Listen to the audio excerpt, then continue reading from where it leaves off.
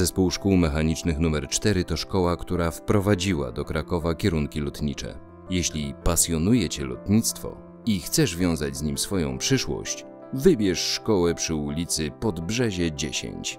Rozpoczęliśmy kształcenie na kierunku technik mechaniki lotniczy wiele lat temu. Byliśmy w Krakowie pierwszą szkołą, która zapoczątkowała kształcenie technika mechanika lotniczego. Jest to zawód wysoko kwalifikowanej kadry, cieszy się ogromnym zainteresowaniem uczniów. Technik mechanik lotniczy odpowiedzialny za współpracę z pilotem i sterowanie statkiem powietrznym znajdzie pracę nie tylko w kraju, ale i również za granicą. Jest pożądany na wymagającym w tym momencie rynku pracy. Do zdobycia zawodu technik mechanik lotniczy jest potrzebne podstawowe zainteresowanie techniką, jeżeli y, możliwe to techniką lotniczą, jakieś podstawowe pojęcie o matematyce, elektrotechnice, a przynajmniej zainteresowanie tymi dziedzinami. Są także potrzebne manualne zdolności. Przykręcamy rzeczy, odkręcamy, instalujemy, deinstalujemy, naprawiamy. Po skończeniu szkoły na kierunku technik mechanik lotniczy mam wiele możliwości. Mogę iść na przykład do aeroklubu, nabywać tam więcej praktyki, albo mogę na przykład iść do Rzeszowa, do fabryki silników y, lotniczych. Mogę pracować potem na lotnisku jako mechanik, naprawiać samoloty liniowe. Mogę, mogę się zatrudnić na przykład w linii lotniczej. Wykonujemy szereg testów funkcjonalnych, korzystamy z dokumentacji technicznej. Przydatna także jest znajomość e, technicznego języka angielskiego. Chciałbym pracować w Krakowie w Balicach, y, blisko domu. Technik Avionik zajmuje się głównie obsługą instrumentów pokładowych, jakie znajdujemy na pokładzie statku powietrznego i to zaczyna się od żyroskopów od, i od klasycznych instrumentów, aż po e, komputery sterowania lotem. Zawsze znajdzie się zapotrzebowanie na e, absolwentów w kierunku technik Avionik z racji tego, że wiele organizacji obsługowych e, ma specjalistyczną obsługę wspomnianych przyrządów, gdzie są potrzebni specjaliści, tak samo przy produkcji tych instrumentów w obsłudze liniowej y, samolotów pasażerskich, gdzie mamy bardzo kom- skomplikowane systemy sterowania lotem i zarządzania lotem w aeroklubach i wszędzie tam, gdzie jest wykonywana obsługa statków powietrznych. Moim marzeniem i praktycznie też celem po tej szkole jest pracowanie jako pilot.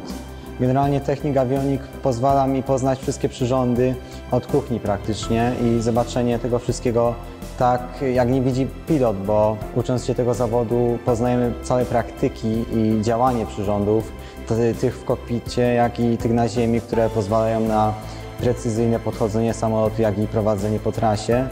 Mm, I bardzo nam, mi to może pomóc w wyborze mm, dalszego kształcenia, w moim przypadku jako pilot i całego działania w tym kierunku. Praktyk jako taki nie odbywałem, w tej chwili jestem jeszcze za młody, ale odbywaliśmy staże dokładnie w tamtym roku. Działo się to w Muzeum Lotnictwa, gdzie wchodziliśmy do różnej klasy samolotów y, z całego świata praktycznie, gdzie mogliśmy poznać całe kokpity, działanie nawet tych samolotów i poznanie tego od wewnątrz. Niektórzy właśnie nie mają takiej szansy, ucząc się nawet tego zawodu.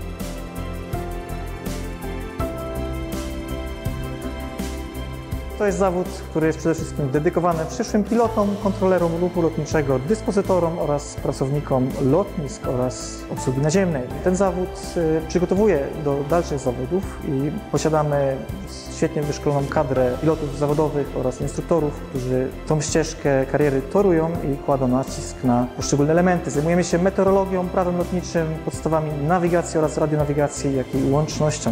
Predyspozycje przede wszystkim to podstawowa wiedza języka angielskiego i chęć rozwoju tego języka, podstawowa wiedza z matematyki oraz zainteresowanie nawigacją oraz lotnictwem w klasycznym znaczeniu tego słowa. Pracę można znaleźć chociażby w służbach informacji lotniczej, jak i w służbach kontroli ruchu lotniczego, w Instytucie Meteorologii i Gospodarki Wodnej, gdzie y, wiedza z zakresu meteorologii może być przydatna.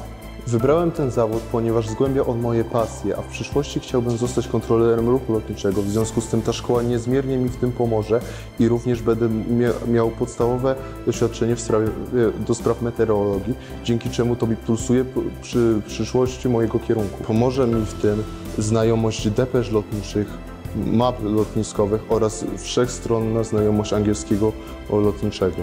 Technik eksploatacji portów i terminali, jak sama nazwa wskazuje, zajmuje się transportem oraz logistyką. Jest to przede wszystkim e, przechowywanie i transport ładunków, towarów oraz pasażerów, związane z tym przepisy prawa lotniczego oraz procedury certyfikacyjne lotniska, jak i eksploatacja lotniska. I taka osoba będzie zaznajomiona z funkcjonowaniem portów lotniczych i będzie w stanie znaleźć pracę najprawdopodobniej właśnie na porcie lotniczym, w dziale logistycznym lub chociażby y, w dziale personelu pokładowego w liniach lotniczych.